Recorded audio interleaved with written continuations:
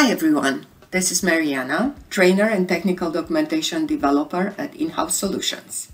I'm here with Mastercam Quick Tip of the Day. Do you know that the advanced display allows you to customize the display of the toolpaths with different colors based on the movement type? The advanced display can be toggled on and off in the View ribbon or in the Toolpaths Manager. When toggle uh, off, the toolpaths are only displayed in two different colors, one for the cutting motion and one for the rapid motion.